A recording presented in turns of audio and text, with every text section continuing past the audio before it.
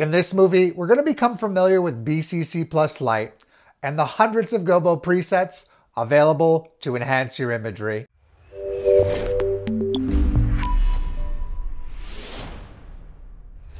As a video or motion graphic artist, you may be familiar with adding or enhancing light in your scene and shots, layers, or through nodes. Continuum has a wide range of effects that can help us with this process, but one effect adds an additional element of support often overlooked. That's BCC Light. Let's become familiar with this effect by looking at four examples and how we can use it to add symmetry to our imagery with GPU acceleration. BCC Light provides several digital gobos you can take advantage and modify. I'll be demoing this effect in Premiere Pro and After Effects, but take your pick of applications that run Continuum and you'll find the process to be similar. Okay, so I'm in Premiere and let's set this to the effect workspace by clicking on here at the top. Switch around my layout and under effects, I'll do a search for BCC plus and all of the categories that have these type of accelerated effects show up. And what I'm interested is in scrolling down in order to see the BCC light effect. I'll drag that onto the clip and right away we can see that this effect added a gobo over top of the image.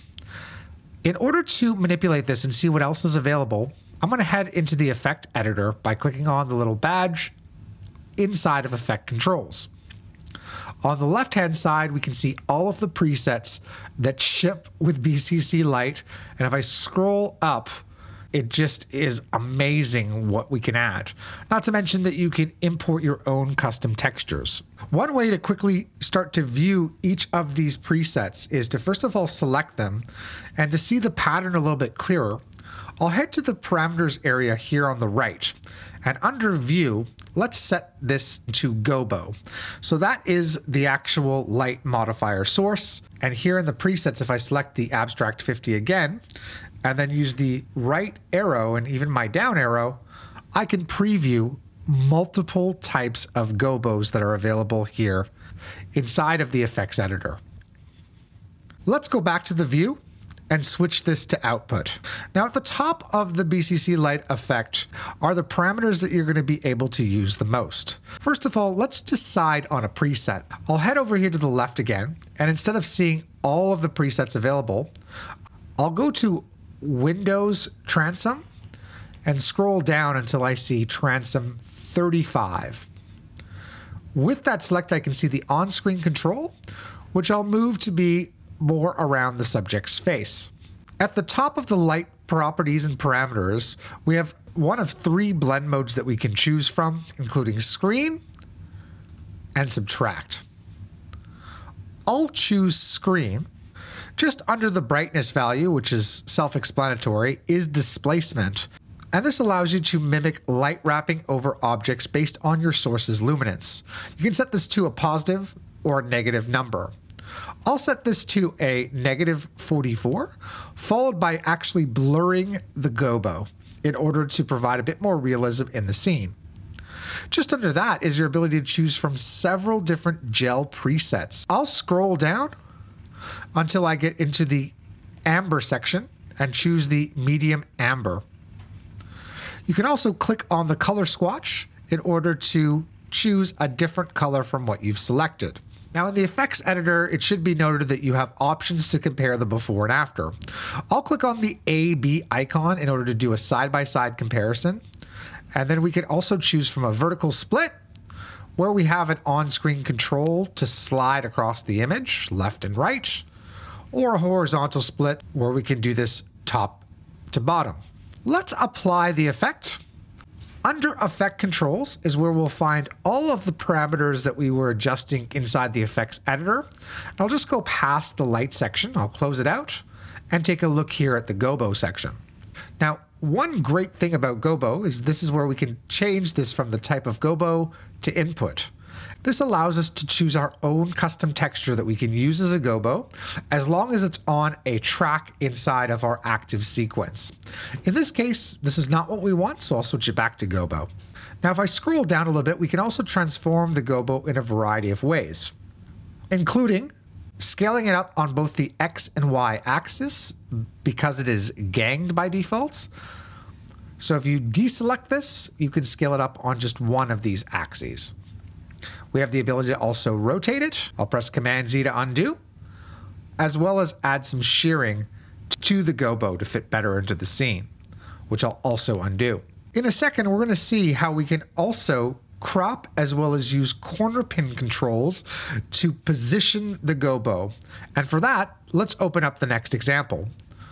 So I'm now on a wall add sequence, and the end goal here is to have three gobos on the back wall to act as projections, and we just want to make sure that it doesn't affect the pianist in this shot.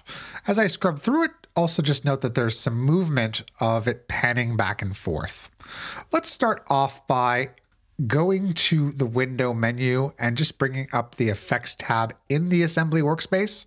I'll do a search here for BCC Plus, but then just to add light in order to see only a few of the BCC Plus effects. And in the lights category, apply light to the clip. Once that's done, I'll head to Effect Controls where we can click on the effects editor in order to launch it. Let's now decide on a preset by going to the top left heading to the foliage category, and I'll click on a few branches presets in order for us to preview them. I like number 17. First thing I'm going to do is just reposition this gobo so it's on the left-hand side of the wall here. I'll follow this up by increasing its brightness a bit just because it's on a darker surface. I'll add a bit of displacement. And let's just add a bit of a color gel to this. I'll just choose my own color of a blue, followed by increasing the blur. Now I'm going to apply this gobo, this initial setup. Excellent. I'll twirl up all of its properties and let's right click to rename this. I'm going to call this left. Now that we have one gobo, let's just simply copy this and then paste it and then choose another preset and then move the gobo somewhere else on the back wall. So I will choose to right click copy, followed by paste.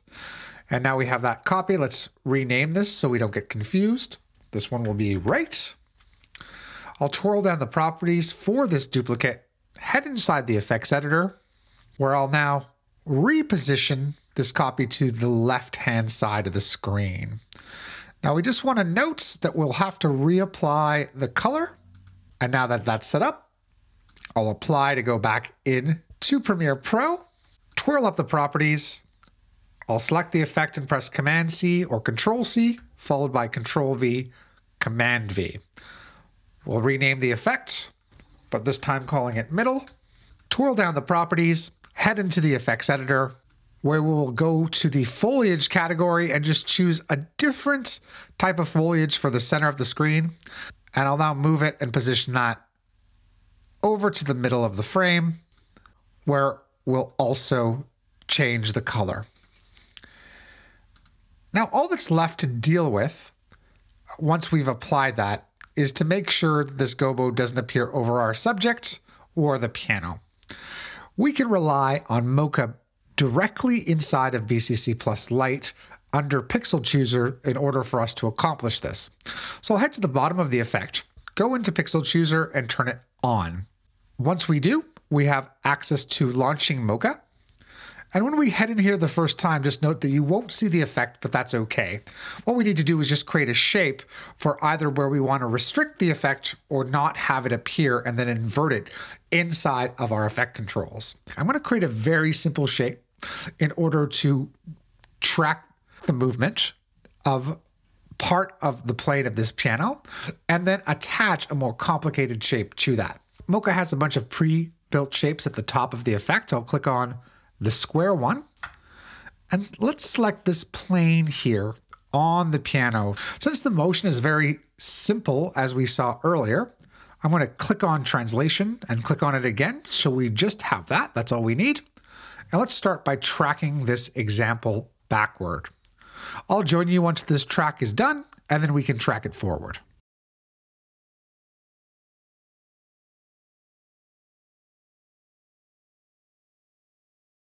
Now that the track is finished, I'll just scrub through this track so we can see that it was successful. Now, this is not the area that we want to use as a mask, but what we can do is utilize this tracking information and connect another layer to it. So let's first of all rename this layer track. And I'm going to now select the X-Spline tool in Mocha and draw a tighter shape around the subject playing piano and the piano itself. I'll press Command A to select all these points after closing out the Mocha mask. And now that I have it positioned in the correct location, I'll name the layer, mask, and under Essentials, I'll link to the actual track. You'll see that the gear icon actually turns off for this layer. Now there's no need for us to have the actual track on. All we want is that mask data. And now that this is all set up, I'll just show you that if I move through the screen, we can see that that mask actually moves with the track that we connected it to. Excellent. I'm going to close down Mocha, make sure I save the data, and we can now see that the actual mask is restricted to that area that we just defined with that second layer. Let's switch this. So under Pixel Chooser, in our mask settings, we're going to choose, first of all, to invert the mask by placing that on. And we'll also increase the feather value around the mask. As you can see, the gobo is now behind our actual pianist in the frame. So here's an example of the three gobos with some subtle movement by animating the different corner pin values that are attached to them. And with a little bit more tweaking, we can perfect the look of each of these gobos. Let's head into After Effects where I'm going to show you guys a few more examples. Okay, in this scene, I'm just going to turn off and on BCC light so we can see that a gobo was added to the actual tunnel. In order to give the appearance the light was moving, keyframes were added to the X and Y position, as well as a simple wiggle expression to the light's brightness in order to make it flicker. If I bring your attention here to the composition, we can see the brightness value having that wiggle expression and the position value of the gobo being affected over time from the beginning to the end of the clip. Lastly, if I head inside of BCC Light, I'll head to the bottom of the effect where we can see that Pixel Chooser is on and that a rectangular shape was used in order to mask out the middle of the frame. In order for you to see this, I'm going to turn on Pixel Chooser on so we can see the masked area and off. For our final example, I'll head to a composition called Reverse Stabilization. I'll select the clip and just play back so we can see. For this example here, three gobos were added to the scene. Let's take a look at them by me turning them off inside the comp. So this is the one on the left-hand wall, the right-hand wall, followed by the floor. Now you may notice that the actual shot has camera movement in it. So to integrate it into this shot, I had to either use Mocha or another method. Inside of After Effects, I decided to just use the built-in warp stabilizer for this particular task. So let me go to the first turn off the bottom warp stabilizer effect, where I just want to show you that warp stabilizer here is on, where it's set to no motion, along with an objective of reversible stabilization. Since it locked off this shot, I was able to place each of these BCC light gobos into their particular area, then add another version of Warp Stabilizer after the gobo effects, making sure that the objective for this one was set to reverse stabilization, easily accomplishing placing these BCC light gobos into my action scene. Okay, it's time to review all of this information that we've just covered. As you can see, BCC Light allows you to enhance your shots by choosing from hundreds of light modifier presets. Now, if you need more, set the gobo type to input and reference a still or clip in your timeline. The method of selection changes per host, and you can find this in the documentation.